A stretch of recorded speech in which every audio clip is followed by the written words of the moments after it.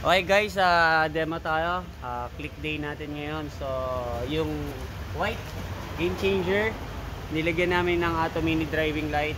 Then, may switch na rin siya. Okay. Gas rocker. So, dito siya nakalagay sa ilalim. So, check natin. Sir, kaluwa ko.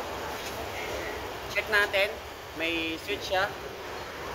Yan. Off muna. Tignan natin yung itsura ng pagka-bracket niya. So, ganun yung bracket na sa ilalim. Malinis lang. Okay. So, pa-low. Pa-high. Okay.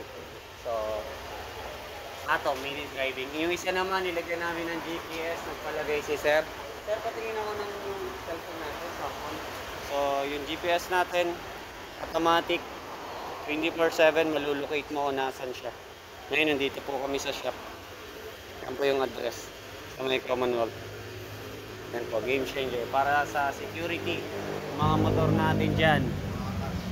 Oo, sa mga kaangka, si Sir, angkas yan. Apat na raw yung nadadali ngayon, no? Tutok ba rin? Oo. yung isa naman, nilagyan ng auxiliary light. Naka-bracket naman siya sa labas. So, meron din tayo bracket niyan.